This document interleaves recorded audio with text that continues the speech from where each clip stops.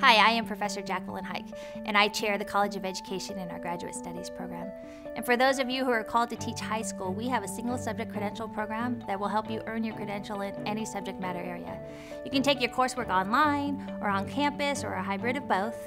And through our coursework and our student teaching experiences that you can complete in less than a year, we will empower you to become an effective educator in the 21st century coursework is designed to help you meet the needs of your students in your classroom based on their unique learner differences, to plan and deliver powerful learning experiences for them, assess their learning, meet the dynamics of English learners in the classroom and special population students. It's based on the needs of 21st century educators and our faculty are all passionate about teaching and learning. So please call us and learn more about our program and we hope to see you in the classroom soon. Thank you.